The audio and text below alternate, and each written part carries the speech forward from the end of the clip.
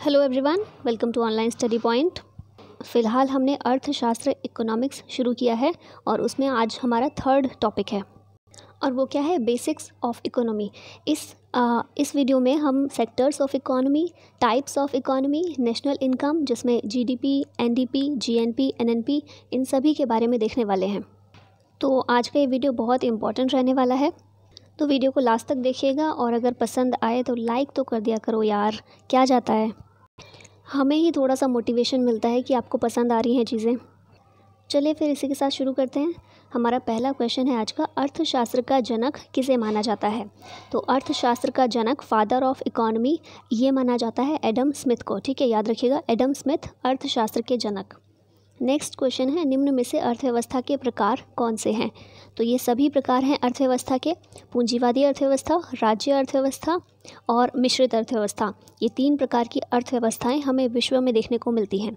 ठीक है, कुछ कंट्रीज़ हैं जो पूंजीवादी या फिर कैपिटलिस्टिक इकोनॉमी अपनाती हैं। कुछ कुछ कंट्रीज़ ऐसी हैं जो स्टेट इकोनॉमी अपनाती हैं और कुछ जैसे कि इंडिया मिक्स्ड इकोनॉमी को फॉलो करती हैं। तो इसलिए तीन प्रकार की अर्थव्यवस्थाएँ मुख्य रूप से हमें विश्व में देखने को मिलती हैं। नेक्स्ट क्वेश्चन है, पूंजीवादी अर्थव्यवस्था का उद्गम स्रोत एडम स्मिथ की कौन सी किताब को माना जाता है? तो पूंजीवादी अर्थव्यवस्था, इसका उद्गम स्रोत मतलब इसकी जो हम शुरुआत देखते हैं, सबसे पहले इस इसकी बात किसने की थी? तो एडम स्मिथ ने की थी और एडम स्मिथ की जो बुक थी, द वेल्थ ऑफ़ नेशंस, ठीक है, इस बुक में इन्होंने पूंजीवादी अर्थव्यवस्था के बारे में ज़िक्र किया है और यहीं से पूंजीवादी अर्थव्यवस्था की शुरुआत मानी जाती है। ये बुक का डेट भी सन भी याद रखिएगा 1776 ठीक है 1776 में ये बुक रिलीज़ हुई थी द वेल्थ ऑफ़ नेशन और इसी में पूंजीवादी अर्थव्यवस्था के बारे में बात की गई थी।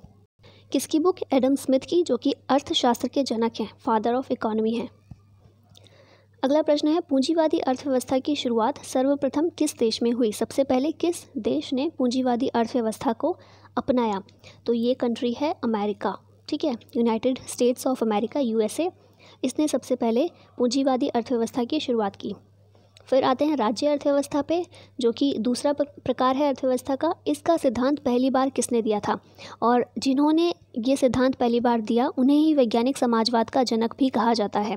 ठीक है तो ये याद रखिएगा कार्ल मार्क्स बहुत नाम सुना होगा आपने इनका, और इन्हीं के विचारों को हम आज मार्क्सवाद के नाम से जानते हैं, मार्क्सिज्म के नाम से जानते हैं तो इन्होंने ही राज्य अर्थव्यवस्था का सिद्धांत पहली बार दिया था और इन्हीं को वैज्ञानिक समाजवाद का जनक कहा जाता है। तो राइट आंसर है B Karl Marx next question है, राज्य अर्थव्यवस्था को अन्य किन नामों से जाना जाता है? तो राज्य अर्थव्यवस्था आपने इसे समाजवादी अर्थव्यवस्था के नाम से आमतौर पर सुना होगा, ठीक है? समाजवादी यानी कि सोशलिस्टिक इकॉनमी।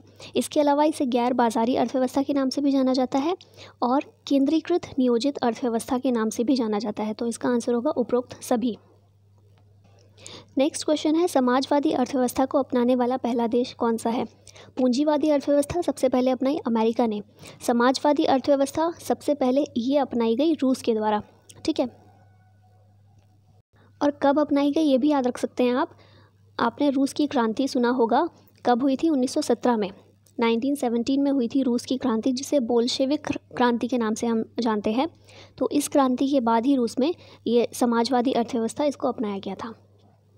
मिश्रित अर्थव्यवस्था से क्या तात्पर्य है? मिश्रित मिश्रित अर्थव्यवस्था या फिर मिक्स्ड इकोनॉमी ये तीसरा टाइप है इकोनॉमी का, अर्थव्यवस्था का। तो मिश्रित अर्थव्यवस्था इनमें से किसे कहेंगे? तो मिश्रित अर्थव्यवस्था होती है निजी और सार्वजनिक दोनों का सह अस्तित्व। अब देखिए थोड़ा सा तीनों अर्थव्यवस्थाओं के बारे में देख लेते हैं क्या क्या होती हैं। तो पूंजीवादी अर्थव्यवस्था की हमने बात की थी सबसे पहले। पूंजीवादी अर्थव्यवस्था क्या होती है? निजी अर्थव्यवस्था भी इसको बोलते हैं, जो कि बाज़ार आधारित अर्थव्यवस्था है। इसमें शक्तियाँ राज्य के हाथों में नहीं होती। बाज़ार की जो भी निर्णय लेने की शक्ति है, वो सभी बाज़ार को सौंप दी जाती है, ठीक है? निजी क्षेत्र को सौंप दी जाती है। वहीं अगर हम दूसरी तरफ़ आएँ समाजवादी अर्थव्यवस्था पर तो समाजवादी अर्थव्यवस्था इसमें क्या होता है? इसमें जो भी बाज़ार में निर्णय लेने की जो भी शक्ति है, वो वो दे दी जाती है राज्य के हाथों में। ठीक है? तो इसीलिए जो समाजवादी अर्थव्यवस्था है, उसे गैर बाज़ारी अर्थव्यवस्था भी कहा जाता है, कि बाज़ार की जो भी शक्तियाँ हैं, राज्य के नियंत्रण में होती हैं। इसीलिए समाजवादी को राज्य नियंत्रित अर्थव्यवस्था भी बोलते हैं। और वहीं मिश्रित की जब बात करते हैं, मिश्रित मतलब मिक्स्ड तो पूंजीवादी और समाजवादी दोनों का मिक्सचर है ये। तो इसमें निजी और सार्वजनिक दोनों का ही सह अस्तित्व होता है, ठीक है? फिर नेक्स्ट क्वेश्चन है, मिश्रित अर्थव्यवस्था का सिद्धांत किसने दिया? इनमें से किसने मिश्रित अर्थव्यवस्था का सिद्धांत दिया? पूंजीवादी अर्थव्यवस्था का सिद्धांत किसने दिया था? बताइए। एडम स्मिथ ने, ठीक है? समाजवादी अर्थव्यवस्था का सिद्धांत किसने दिया था? कार्ल मार्क्स ने। और यहाँ पूछा जा रहा है, मिश्रित अर्थव्यवस्था का सिद्धांत किसने दिया था? तो नाम याद रखिएगा, जॉन मेनार्ड कीन्स। कीन्स या फिर केन्स भी कई बार इनको बोला जाता है स्पेलिंग के E Y N E S तो आप इसको जिस तरह से भी प्रोनाउंस करें, कर लीजिएगा। तो जॉन मिनार्ड कीन्स इन्होंने मिश्रित अर्थव्यवस्था का सिद्धांत सबसे पहले दिया था। नेक्स्ट क्वेश्चन है, मिश्रित अर्थव्यवस्था का आरंभ कब हुआ? इसकी शुरुआत कब हुई? हमने देखा 1776 में जो बुक रिलीज़ हुई थी एडम स्मिथ की द वेल्थ ऑफ़ नेशंस उसमें पहली बार पूंजीवादी अर्थव्यवस्था की बात की गई थी, है ना? उस सिद्धांत, पूंजीवादी अर्थव्यवस्था का जो सिद्धांत है, उसकी शुरुआत हुई थी। फिर हमने देखा कि 1917 की जो बोलशेविक क्रांति है, उससे समाजवादी अर्थव्यवस्था की शुरुआत हुई। सबसे पहले रूस ने उसको अपनाया। ठीक है, अब यहाँ पूछा गया मिश्रित अर्थव्यवस्था का आरंभ। कब हुआ था? इनमें से कौन से सन में मिश्रित अर्थव्यवस्था की शुरुआत हुई थी? तो याद रखिएगा 1948 में। ठीक है, मिश्रित अर्थव्यवस्था की शुरुआत हुई 1948 में तो बहुत ज़्यादा पुराना नहीं है। हमने अभी लास्ट क्वेश्चन में देखा ही ना, इस इस सिद्धांत के जनक कौन है? जॉन मेनार्ड कीन्स तो इन्होंने ये अर्थ, ये जो सिद्धांत दिया मिश्रित अर्थव्यवस्था का, ये कब दिया? 1936 में इनकी भी एक बुक आई थी। बुक का नाम क्या था? The general theory of employment interest और मनी ठीक है? एंड मनी तो 1936 में इनकी ये बुक आई थी और इस बुक में ही इन्होंने ये सिद्धांत दिया था। तो 1936 में सिद्धांत दिया, इससे पहले क्या हुआ था? हम उन्नीस सौ उनतीस में जो मंदी आई थी, वैश्विक मंदी उसके दौरान क्या हुआ कि पूंजीवादी अर्थव्यवस्था और समाजवादी अर्थव्यवस्था सभी फेल हो चुकी थी है ना? पूरी दुनिया मंदी आ, पूरी दुनिया के सामने मंदी की स्थिति थी तो ऐसे में सभी फेल हो गई थी। तो तब सोचा गया कि कौन सा नया सिद्धांत हमें अपनाना चाहिए जो दोबारा से ये मंदी जैसी स्थिति ना आए ठीक है? तो पहली बार जो हमें ये सिद्धांत देखने को मिलता है मिश्रित अर्थव्यवस्था का 1936 में देखने को मिलता है। और पहली बार ये मिश्रित अर्थव्यवस्था की शुरुआत कब हुई? 1948 में हुई। ठीक है? फिर नेक्स्ट क्वेश्चन है, मिश्रित अर्थव्यवस्था को अपनाने वाला पहला देश कौन सा है? पूंजीवादी अर्थव्यवस्था सबसे पहले यूएसए ने अपनाई, समाजवादी अर्थव्यवस्था सबसे पहले रशिया ने, रूस ने अपनाई और मिश्रित अर्थव्यवस्था ये सबसे पहले फ्रांस ने अपनाई। ठीक है, याद रखिएगा, फ्रांस ने। भारत में पाई जाने वाली अर्थव्यवस्था का स्वरूप कैसा है? भारत में कैसी अर्थव्यवस्था है? तो भारत की अर्थव्यवस्था मिश्रित अर्थव्यवस्था है। ठीक है, हम मिक्स्ड इकोनॉमी में रहते हैं। जहाँ निजी क्षेत्र को भी शक्तियाँ मिली हुई हैं बाज़ार में और साथ में राज्य का कंट्रोल पूरी तरह से ख़त्म नहीं हुआ है। ठीक है, राज्य का भी नियंत्रण रहता है और निजी क्षेत्र के पास भी प्रॉपर शक्तियाँ हैं। नेक्स्ट क्वेश्चन है, अर्थव्यवस्था को कितने क्षेत्रों में बांटा जा सकता है? तो आप सबको पता ही होगा, उपरोक्त सभी प्राथमिक क्षेत्र यानी कि प्राइमरी सेक्टर फिर है सेकेंडरी सेक्टर और टर्शियरी सेक्टर तो इन तीन क्षेत्रों में अर्थव्यवस्था को बांटा जाता है। प्राथमिक क्षेत्र में निम्न में से कौन शामिल है? अब बताइए, उत्खनन, उद्योग बैंकिंग या फिर वाहन? अगर मैं इसकी जगह कृषि कर देती ऑप्शन में, उद्योग तो आप समझ ही गए होंगे। सेवा में हम मोस्टली शिक्षा और पर्यटन जैसी चीज़ों को देखते हैं। तो यहाँ पर बताइए, प्राथमिक क्षेत्र कौन है? उद्योग से तो आप पहचान जाएँगे कि यह सेकेंडरी सेक्टर का है। बैंकिंग ये थर्ड सेक्टर जो है थर्ड सेक्टर है, तृतीय क्षेत्र है या फिर टर्शियरी सेक्टर जिसको बोलते हैं, वो है। वाहन जो है, ये भी टर्शियरी सेक्टर का ही नहीं आई एम सॉरी वाहन जो है, ये सेकेंडरी सेक्टर का भाग है, ठीक है? प्राथमिक क्षेत्र में क्या आता है? उत्खनन। उत्खनन प्राथमिक क्षेत्र में क्यों है? क्योंकि प्राथमिक क्षेत्र या फिर प्राइमरी सेक्टर जो है, ऐसा क्षेत्र है जहाँ पर प्राकृतिक संसाधनों को कच्चे तौर पर प्राप्त किया जाता है। कृषि इसमें आ जाती है, मछली पालन इसमें आ जाता है। पशुपालन इसमें आ जाता है और साथ ही उत्खनन भी इसी में आता है, क्योंकि उत्खनन में हम क्या करते हैं? जो माइन होता है, उसमें क्या करते हैं? जितने भी प्राकृतिक संसाधन हैं नेचुरल रिसोर्सेज हैं, उनको कच्चे तौर पर प्राप्त किया जाता है तो इसलिए ये प्राथमिक क्षेत्र में आएगा। ठीक है? भारत की अर्थव्यवस्था में सबसे अधिक योगदान कौन देता है? इनमें से कौन सा क्षेत्र है जो भारतीय अर्थव्यवस्था में सबसे अधिक योगदान देता है? तो इस समय फ़िलहाल सेवा क्षेत्र ऐसा क्षेत्र है, जो कि सबसे ज़्यादा योगदान देता है। ठीक है? सर्विस सेक्टर सबसे ज़्यादा योगदान देता है। फिर अगला प्रश्न है, भारत में सकल घरेलू उत्पाद, यानी कि ग्रॉस डोमेस्टिक प्रोडक्ट जीडीपी की गणना का काम किस मंत्रालय के द्वारा किया जाता है? तो भारत में जीडीपी की गणना की जाती है केंद्रीय सांख्यिकी संगठन, यानी कि सीएसओ के द्वारा, ठीक है? सेंट्रल स्टेटिक स्टेटिस्टिक्स ऑफ़िस के द्वारा, ठीक है? ऑर्गेनाइजेशन के द्वारा, ठीक है? केंद्रीय सांख्यिकी संगठन सीएसओ के द्वारा जीडीपी की गणना का काम किया जाता है। केंद्रीय सांख्यिकी संगठन की स्थापना कब हुई थी? तो ये याद रखिएगा, केंद्रीय सांख्यिकी संगठन इसकी स्थापना हुई थी उन्नीस सौ इक्यावन में 1951 में। अगला प्रश्न है, निम्नलिखित में से आर्थिक विकास की बेहतर माप कौन सी है? अगर हमें किसी देश का आर्थिक विकास जानना है तो उसके लिए सबसे बेहतर माप कौन सी होगी इनमें से? तो वो होती है प्रति व्यक्ति आय, ठीक है? जिसे कहा जाता है पर कैपिटा इनकम तो प्रति व्यक्ति आय ये आर्थिक विकास को जानने के लिए सबसे बेहतर माप होती है। भारत में प्रति व्यक्ति आय की गणना करने के लिए किस आधार वर्ष का इस्तेमाल किया जाता है? तो आधार वर्ष क्या होता है? आधार वर्ष एक ऐसा वर्ष डिसाइड कर लिया जाता है कि आज जो भी सिचुएशन है हम उसकी आ, क्योंकि हम जो कह रहे हैं कि आज हमारी जीडीपी दर कितनी है आज हमारी प्रति व्यक्ति आय कितनी है तो हमें किसी चीज़ से कंपेयर करना है ना उसको। जैसे कि एग्ज़ाम्पल लेते हैं वीकली करंट अफेयर्स का। मैं उसमें हमेशा क्या कहती हूँ, टेस्ट की तरह दीजिए। आपने आज का जो वीकली टेस्ट दिया करंट अफेयर का, उसमें आपके जो मार्क्स आए, वो अच्छे हैं या बुरे हैं? ये आप कैसे डिसाइड करेंगे कि पहले वाला जो टेस्ट आपने दिया था, उसमें आपके मार्क्स कैसे थे? उसमें आपके ज़्यादा थे तो अभी आपका परफॉर्मेंस ख़राब हो गया पहले से, उसमें कम थे तो अभी परफॉर्मेंस अच्छा हो गया है। ठीक है? तो इसी चीज़ से डिसाइड करते हैं मतलब पहले का कुछ हमारे पास आधार होना चाहिए। जिसे हम आज से कंपेयर कर सकें। तो उसी को कहा जाता है आधार वर्ष। ठीक है? तो प्रति व्यक्ति आय की गणना के लिए आधार वर्ष इनमें से कौन सा है? तो याद रखिएगा, ये आधार वर्ष है 2011-12 पहले 2004-5 हुआ करता था, लेकिन अब इसको चेंज करके 2011-12 कर दिया गया है। नेक्स्ट क्वेश्चन है, यदि किसी देश की अर्थव्यवस्था में कृषि क्षेत्र का योगदान घट रहा है तो इसका क्या मतलब निकाला जा सकता है? अगर कृषि क्षेत्र का योगदान घट रहा है तो इनमें से क्या मतलब निकाला जाएगा? तो इस, इनमें से मतलब होगा कि देश विकसित बनने की दिशा में बढ़ रहा है। हम विकसित देशों को देखते हैं तो उनमें कौन से क्षेत्र का ज़्यादा योगदान होता है? तो हम देखते हैं जो जो सेकेंडरी सेक्टर होता है और टर्शियरी सेक्टर है, उन दोनों सेक्टर्स का योगदान ज़्यादा होता है।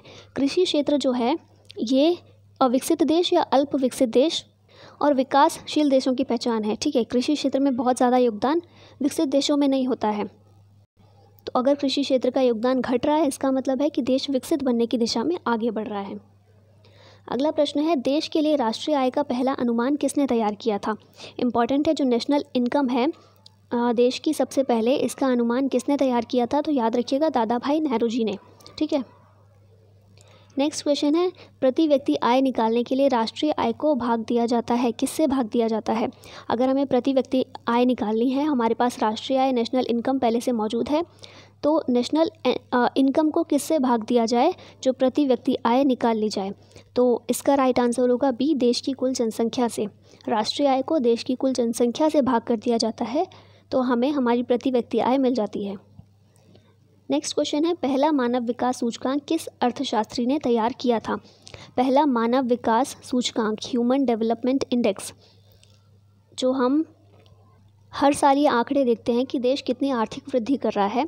आर्थिक वृद्धि सबसे ज़्यादा सफल कब मानी जाएगी? जब मानवों का विकास हो, है ना? लोगों का विकास हो। तो यही देखने के लिए कि लोग कितना एक्चुअल में विकास कर रहे हैं। क्या जो हम आंकड़े देखते हैं, उन्हें ही विकास माना जाए? या एक्चुअली लोगों की ज़रूरतें बेसिक ज़रूरतें जो हैं, वो पूरी हो रही हैं, उसको विकास माना जाएगा। तो इसी चीज़ को देखने के लिए मानव विकास सूचकांक की शुरुआत की गई। कब की गई? 1990 में। और किसके द्वारा पहली बार इसे तैयार किया गया था? तो महबूल उख महबूब उल हक, पाकिस्तान के ये अर्थशास्त्री हैं। इन्होंने पहला मानव विकास सूचकांक तैयार किया था, ठीक है? और अभी जो 2019 में मानव विकास सूचकांक की रिपोर्ट आई थी, उसमें भारत का प्लेस कौन सा है? 129 ठीक है? इससे पहले 130 हुआ करता था, इससे पहले के साल, और ये 129 एक जो है, हमने एक अंक की बढ़ोतरी की है इसमें। और अगर पूछा जाए किसके द्वारा मानव विकास सूचकांक जारी किया जाता है तो बहुत इंपॉर्टेंट है, याद रखिएगा यूएनडीपी के द्वारा। यूनाइटेड नेशंस डेवलपमेंट प्रोग्राम, जिसका हेडक्वार्टर है न्यूयॉर्क में। ठीक है तो यू यू के द्वारा मानव विकास सूचकांक जारी किया जाता है और पहली बार महबूब उल हक ने इसे तैयार किया था। भारत में वित्तीय वर्ष कौन सा होता है? हमारा वित्तीय वर्ष क्या है? हम जब वेस्टर्न कंट्रीज़ को देखते हैं तो वहाँ पर उनका वित्तीय वर्ष एक जनवरी से इकतीस दिसंबर ये वाला होता है। लेकिन हमारे यहाँ ये नहीं है। हमारा वित्तीय वर्ष क्या है? एक अप्रैल से इकतीस मार्च, ठीक है? एक अप्रैल से हिंदी कैलेंडर जो होता है, उसमें एक अप्रैल से ही नया साल शुरू होता है ना तो उसी हिसाब से हमारा वित्तीय वर्ष भी है, एक अप्रैल से इकतीस मार्च। ठीक है नेक्स्ट क्वेश्चन है राष्ट्रीय आय समिति का गठन किस वर्ष हुआ था? राष्ट्रीय आय समिति इसका गठन सबसे पहले हुआ था 1949 में। याद रखिएगा 1949 राष्ट्रीय आय समिति। राष्ट्रीय आय समिति के अध्यक्ष कौन थे इनमें से? तो ये महालनोबिस पीसी महालनोबिस और ये किससे जुड़े हुए थे? ये जो दूसरी पंचवर्षीय योजना थी उसका प्रारूप भी इन्होंने ही तैयार किया था तो इसलिए भी ये फेम, फ़ेमस है। फिर है राष्ट्रीय आय की गणना किस तरह से होती है? ठीक है देखिए, राष्ट्रीय आय क्या? मतलब पूरे देश की आय। जिस तरह से किसी एक व्यक्ति की आय होती है, उसी तरह से पूरे देश की आय होती है। और राष्ट्रीय आय की गणना करना क्यों ज़रूरी है? ताकि पता चले कि कौन सा सेक्टर किस तरह से काम कर रहा है। है ना? इसीलिए राष्ट्रीय आय की गणना की जाती है। और एक राष्ट्रीय आय वहाँ भी काम आती है, राष्ट्रीय आय की गणना, जब हमें कई सारी कंट्रीज़ का कंपैरिजन करना हो। जब अलग अलग देशों की राष्ट्रीय आय का कंपैरिजन करना हो, वहाँ भी राष्ट्रीय आय इंपॉर्टेंट रोल प्ले करता है। अब राष्ट्रीय आय की गणना किस तरह से होती है? वस्तु और सेवा, जो भी देश के अंदर जिन भी वस्तुओं का उत्पादन हुआ, जो भी सेवाएँ प्रोवाइड की गई एक वर्ष के अंदर, उन कीमतों की गणना की जाती है और फिर उसी का टोटल निकाल कर बोल दिया जाता है कि राष्ट्रीय आय है है ना? तो यहाँ पर इसका राइट आंसर होगा प्रचलित और स्थिर कीमतों, दोनों कीमतों पर, प्रचलित कीमत पर भी और स्थिर कीमत पर भी। अब ये दोनों क्या हैं? प्रचलित कीमत और स्थिर कीमत। स्थिर कीमत है, स्थिर मतलब जिसमें कोई चेंज नहीं हो रहा। तो हमने देखा था ना आधार आधार वर्ष या फिर बेस ईयर तो वो बेस ईयर ही होता है स्थिर कीमत। बेस ईयर में जो कीमतें रहीं जिन चीज़ों की, उनको माना जाता है स्थिर कीमत और प्रचलित कीमत मतलब वर्तमान में जो है। हमेशा सेम नहीं रहेगी ना स्थिर कीमत। हमने देखा जो बेस ईयर था दो हज़ार ग्यारह बारह था, है ना? तो वो जो ग्यारह बारह में जो कीमतें रही होंगी वस्तुओं और सेवाओं की, वो आज तो नहीं है। तो बहुत अंतर होता है, स्थिर कीमतें मतलब उस टाइम पर जो थी, उन्हें ही हमने मान लिया बेस ईयर के तौर पर। और प्रचलित कीमत आज जो वर्तमान में कीमत है तो इन दोनों का ही प्रयोग किया जाता है। लेकिन थोड़ा सा फ़र्क है ज़्यादातर जो विकासशील देश हैं, वो सिर्फ़ स्थिर कीमतों का प्रयोग करते हैं राष्ट्रीय आय की गणना करने में और विकसित देश जो हैं, वो प्रचलित कीमतों का प्रयोग करते हैं। भारत शुरुआत में तो सिर्फ़ स्थिर कीमत का ही प्रयोग करता था राष्ट्रीय आय की गणना करने में, लेकिन अभी फ़िलहाल हम देखें तो प्रचलित और स्थिर दोनों कीमतों पर राष्ट्रीय आय की गणना की जाती है। और दोनों का प्रयोग क्यों किया जाता है? हम तो विकासशील देश हैं और विकासशील देश ज़्यादातर स्थिर कीमतों का प्रयोग करते हैं। तो हम ऐसा इसलिए करते हैं क्योंकि महँगाई दर साल दर साल बढ़ती जा रही है है ना? और महँगाई दर अगर बढ़ रही है तो सरकार को ये पता होना चाहिए कि महँगाई दर बढ़ने के साथ लोगों की आय में कितना चेंज आ रहा है। क्योंकि जब तक ये पता नहीं होगा, अगर हम स्थिर कीमतों को ही लेकर चलेंगे तो लोगों की आय में तो चेंज आएगा, लेकिन कीमतों में चेंज नहीं दिखाई देगा। तो इसीलिए हमें ज़रूरत है प्रचलित कीमत पर भी राष्ट्रीय आय की गणना करने की, ताकि सरकार जो भी स्कीम्स चलाती रहती है गरीबी उन्मूलन के लिए जो प्रयास करती रहती है, वो सफल हो पाए। ठीक है? नेक्स्ट क्वेश्चन है, निम्न में से कौन सी विधि सकल घरेलू उत्पाद यानी कि जीडीपी की गणना करने की नहीं है? तो जीडीपी की गणना उत्पाद विधि के आधार पर भी किया जाता है, आय विधि के आधार पर भी होती है, व्यय विधि के आधार पर भी होती है, ह्रासमान लागत विधि के आधार पर नहीं होती है। ठीक है तो ये इसका आंसर होगा डी ठीक है, ह्रासमान लागत विधि, ये जीडीपी की गणना करने की विधि नहीं है। नेक्स्ट है, एक देश में एक वर्ष में देश भर में आर्थिक क्रियाओं से आय की कुल मात्रा को क्या कहा जाता है? तो इसे कहा जाता है राष्ट्रीय आय या फिर नेशनल इनकम। और देखिए, आपको यहाँ पर डेफिनेशन ही मिल गई है, नेशनल इनकम की ये क्या है? एक देश में, एक वर्ष में, देश भर में आर्थिक क्रियाओं से आय की कुल मात्रा, ठीक है? एक साल के अंदर एक देश में जितनी भी आर्थिक क्रियाएँ हुई हैं, और आर्थिक क्रियाओं से जो भी आय हुई है, उसकी कुल मात्रा को कहा जाता है राष्ट्रीय आय, है ना? पूरे देश की आय एक साल के अंदर उसे कहा जाता है राष्ट्रीय आय। और नेक्स्ट क्वेश्चन है, भारत की अर्थव्यवस्था को किस वर्ष तक पाँच ट्रिलियन डॉलर का बनाने का लक्ष्य रखा गया है? तो भारत की अर्थव्यवस्था को दो हज़ार चौबीस से दो हज़ार पच्चीस के बीच में पाँच ट्रिलियन डॉलर की अर्थव्यवस्था बनाने का लक्ष्य रखा गया है। ठीक है? अगर फ़िलहाल देखें, फ़िलहाल क्या स्थिति है तो अभी भारत की अर्थव्यवस्था 2.9 ट्रिलियन डॉलर की है। वैश्विक आधार पर भारत की अर्थव्यवस्था पाँचवें नंबर पर है और अगर क्रय शक्ति क्षमता के आधार पर यानी कि P P P purchasing power parity के आधार पर देखें तो भारत की जीडीपी तीसरे स्थान पर है। ठीक है? और हम, हमारा जो लक्ष्य है पाँच ट्रिलियन डॉलर की अर्थव्यवस्था बनना है। फ़िलहाल two point nine trillion dollar है। बाकी देशों से कंपेयर करें तो यूएसए की अर्थव्यवस्था कितनी है तो ये ट्वेंटी ट्रिलियन डॉलर की है तो बहुत ज़्यादा है ये। पाकिस्तान की तीन सौ चौदह बिलियन डॉलर ठीक है? हमारी ट्रिलियन में है पाकिस्तान बिलियन। और चीन की देखें तो चीन की भी ज़्यादा ही है तेरह ट्रिलियन डॉलर। ये वर्ल्ड बैंक की तरफ़ से जा, जारी किए गए ऑफिशियल आंकड़े हैं। 2018 की मुझे मिले तो वही आपके लेकर आई हूँ दिखाने के लिए। तो इस तरह से वर्तमान में भारत की अर्थव्यवस्था 2.9 ट्रिलियन डॉलर की है और हमारा लक्ष्य है कि 2024-25 तक हमें पाँच ट्रिलियन डॉलर की अर्थव्यवस्था बनना है। अब देख लेते हैं थोड़ा सा जीडीपी, एनडीपी, जीएनपी और एनएनपी के बारे में। इनके बारे में इनसे रिलेटेड क्वेश्चंस किस तरह के बनाऊँ ये मुझे समझ में नहीं आया। लेकिन क्योंकि इंपॉर्टेंट चीज़ें हैं राष्ट्रीय आय आय अगर हम पढ़ रहे हैं तो इन्हें पढ़ना बहुत ज़रूरी है। तो इसीलिए मैंने सोचा इसको ऐसे ही मुझे एक्सप्लेन कर देना चाहिए ताकि हर एक चीज़ क्लियर हो जाए अच्छे से। तो देखते हैं किसी भी देश की आय को अखिलेश करने के लिए सो फनी अखिलेश ने आकलित करने के लिए। किसी भी देश की आय को आकलित करने के लिए अर्थव्यवस्था में चार दृष्टिकोण हैं। देश की आय जब हम नेशनल इनकम पता कर रहे हैं तो चार दृष्टिकोण होते हैं, चार तरीके से हम पता कर सकते हैं। कौन कौन से हैं? पहला है जीडीपी जीडीपी यानी कि ग्रॉस डोमेस्टिक प्रोडक्ट जिसे कहते हैं सकल घरेलू उत्पाद। फिर दूसरा है एनडीपी यानी कि नेट डोमेस्टिक प्रोडक्ट जिसे कहते हैं शुद्ध घरेलू उत्पाद। फिर है जीएनपी यानी कि ग्रॉस नेशनल प्रोडक्ट जिसे कहते हैं हिंदी में सकल राष्ट्रीय उत्पाद। और फिर आ जाता है चौथा एन एन पी यानी कि नेट नेशनल प्रोडक्ट जिसे हिंदी में कहते हैं शुद्ध राष्ट्रीय उत्पाद। अब ये चारों क्या क्या हैं, यहाँ देखते हैं। तो सबसे पहले बात करें जीडीपी की। तो जीडीपी किसी भी अर्थव्यवस्था में एक वर्ष में उत्पादित सभी वस्तुओं और सेवाओं का अंतिम मौद्रिक मूल्य। इसे क्या कहा जाता है? जीडीपी किसी भी अर्थव्यवस्था में एक वर्ष में उत्पादित सभी वस्तुओं और सेवाओं का अंतिम मौद्रिक मूल्य। ये होता है जीडीपी फिर आते हैं नेक्स्ट एनडीपी पर।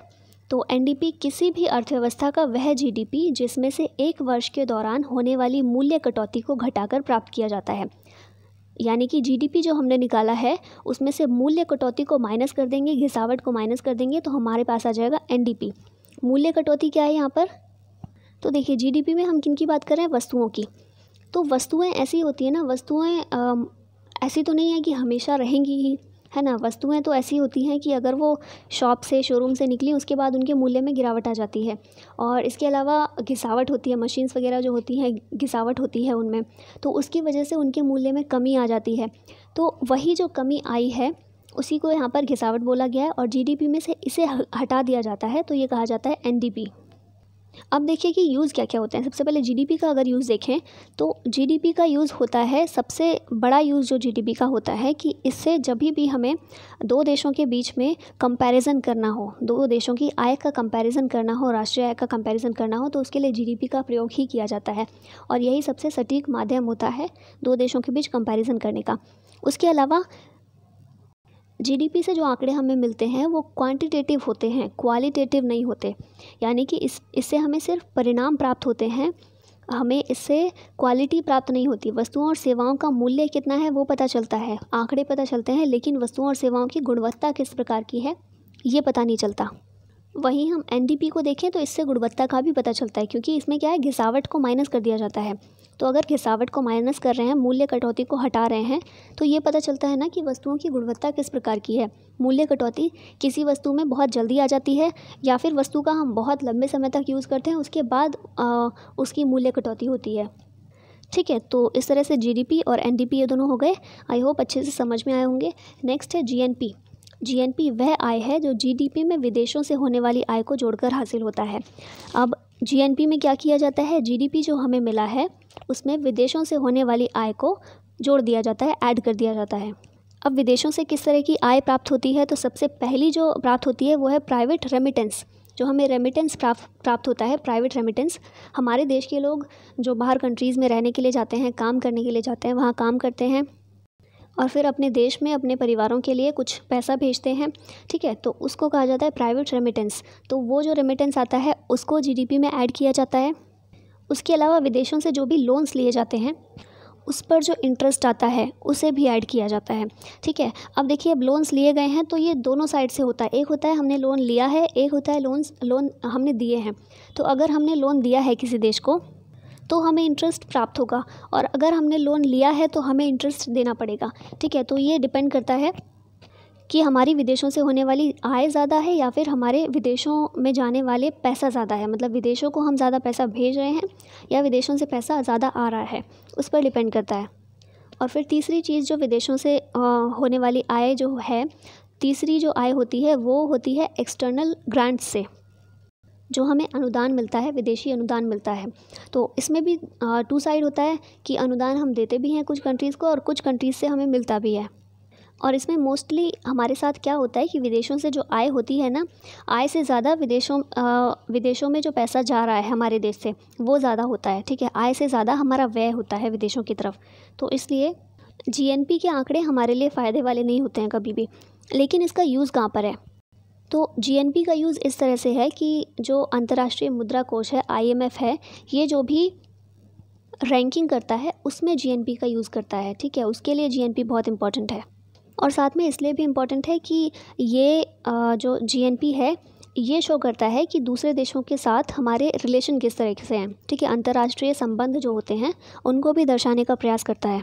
क्योंकि इस, इसकी वजह से पता चलता है ना कि विदेशों से आय हमें कितनी हो रही है और अगर हो रही है तो किस ज़रिए से ज़्यादा हो रही है? अगर कोई ज़रिया है जिससे ज़्यादा हो रही है तो कौन सी कंट्री है जो उसमें ज़्यादा कंट्रीब्यूट कर रही है?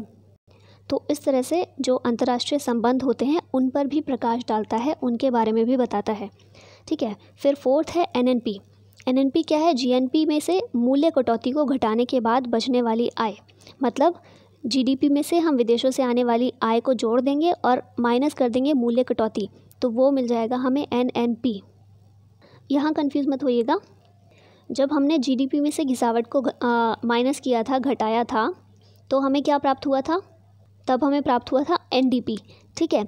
अभी हम क्या करें? जी में से घिसावट को हटा रहे हैं, ठीक है? तो दो फॉर्मूले होते हैं, या तो जीडीपी में विदेशों से आय होने वाली आय को जोड़ दो और मूल्य कटौती को घटा दो तो मिल जाएगा एनएनपी और या फिर जीएनपी में से, क्योंकि जी जीडीपी और विदेशों से होने वाली आय, ये दोनों मिलकर क्या बनती हैं? जीएनपी जीडीपी और विदेशों से होने वाली आय इन दोनों को ही कहा जाता है जीएनपी तो इसमें से हम मूल्य कटौती को घटा देंगे तो आ जाएगी एनएनपी अब एनएनपी के बारे में एक इंपॉर्टेंट चीज़ यहाँ पर लिखी हुई है। एन किसी भी देश की राष्ट्रीय आय को प्राप्त करने का सबसे अच्छा तरीका है। एनएनपी को देश की कुल आबादी से भाग देकर देश की प्रति व्यक्ति आय का पता चलता है। जो एनएनपी हमें प्राप्त होती है उसे कुल आबादी से भाग दे देंगे तो दे आ, तो प्रति व्यक्ति आय का पता चल जा आ, पता चल जाता है। और एक चीज़ याद रखिएगा यहाँ पर हमने जो चार ये दृष्टिकोण देखे हैं जीडीपी, एनडीपी, जीएनपी ये सभी राष्ट्रीय आय ही हैं लेकिन किसी को भी राष्ट्रीय आय के तौर पर नहीं लिखा जाता है किसी को भी नेशनल इनकम के तौर पर नहीं लिखा जाता। नेशनल इनकम कहा जाता है एनएनपी को ठीक है? ये चीज़ याद रखिएगा नेशनल इनकम राष्ट्रीय आय एनएनपी को कहा जाता है। एनएनपी यानी कि नेट नेशनल प्रोडक्ट। और हमने पीछे क्वेश्चन में भी देखा था कि राष्ट्रीय आय में से राष्ट्रीय आय से अगर कुल आबादी को भाग दे देंगे तो फिर देश की प्रति व्यक्ति आय निकल जाती है। ठीक है तो एन एन पी में से अगर देश की कुल आबादी को भाग दे देंगे तो प्रति व्यक्ति आय का पता चल जाता है, पर कैपिटा इनकम मिल जाती है हमें। चीज़ें थोड़ी सी ट्रिकी हैं, लेकिन ज़्यादा मुश्किल भी नहीं है। आप दो तीन बार देखेंगे तो सब कुछ अच्छे से याद हो जाएगा। और ये सब समझ में आया कि नहीं, ज़रूर बताइएगा। और इसी के साथ हमारा आज का ये वीडियो ख़त्म होता है। Thank you so much for watching this जय हिंद।